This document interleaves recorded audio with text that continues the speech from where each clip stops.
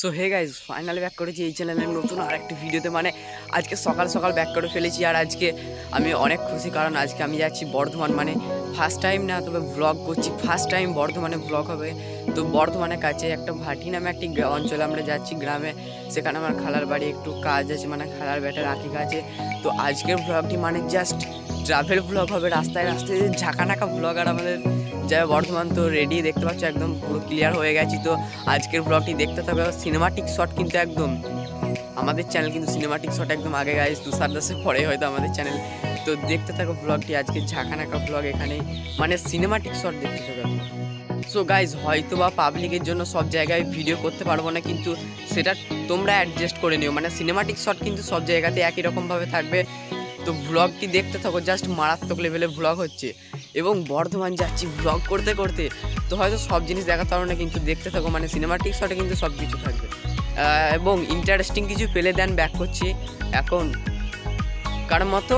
By bye চলো back করে।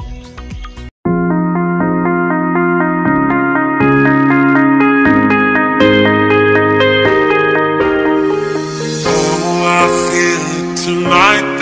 something inside that I I feel it tonight. That look in your eyes got me begging for more. Oh, I feel it tonight. There's something inside that I can't ignore. So guys Bardhaman থেকে দূর থেকে এক kilometre মানে এখানে একটা ছোট্ট break হচ্ছে তো কিছুক্ষণ বাদে ব্যাক করছি এখানে প্রচুর গাড়ির আওয়াজ যেখানে যাচ্ছি সেখানে যাই তারপরে ব্যাক করছি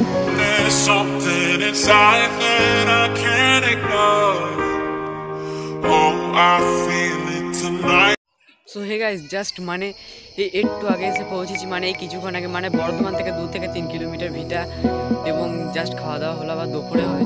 তো আজকের দিনটাই থাকব মানে চলে যাব। টোটোতে এসেছিলাম, হয়তো সিনেমাটিক শট অনেকে দেখেছ। তো পাবলিক ব্লগ আমি কিন্তু করতে পারব না, তাদের যাই হয়ে যাক।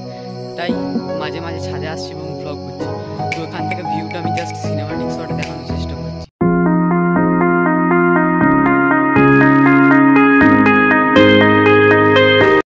আমি জানি না কতটা কি ক্যামেরা বন্দি করতে পারলাম, কিন্তু এখান থেকে ভিউটা কিন্তু জাস্ট মারাত্মক।